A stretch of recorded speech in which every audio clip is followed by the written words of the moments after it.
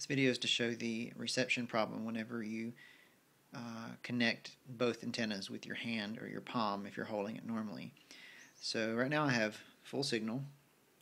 I'm going to complete the circuit by putting my fingers, uh, let me touch it, go back, uh, connecting the two bands and you can watch the antenna start to drop.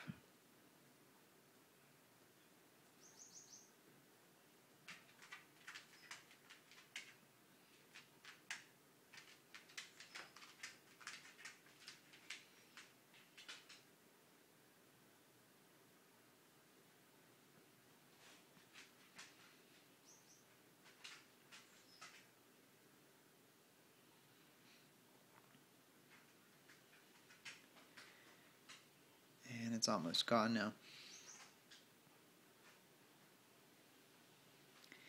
Now if I take my finger off, the reception will come back.